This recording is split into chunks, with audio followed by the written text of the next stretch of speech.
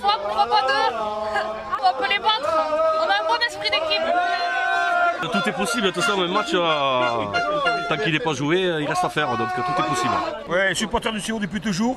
Moi, c'est vrai, les Toulonnais, ils ont de beaux poulets, mais nous, on a une belle cocotte. Ça va être chaud, on a pris les munitions. On a pris les munitions, on est à fond, on est à donf. Ça va être beau, ça va être chaud, ça va être tendu, mais on va redescendre avec ce bouclier qu'on attend depuis longtemps. C'est vrai que ça serait merveilleux de, de voir partir, partir notre Johnny euh, sur d'autres cieux avec euh, un doublé. Non, impossible de perdre, désolé pour les castrés, ben, tant pis pour vous, euh, ce sera pour l'année prochaine. Rendez-nous le bouclier, il est à nous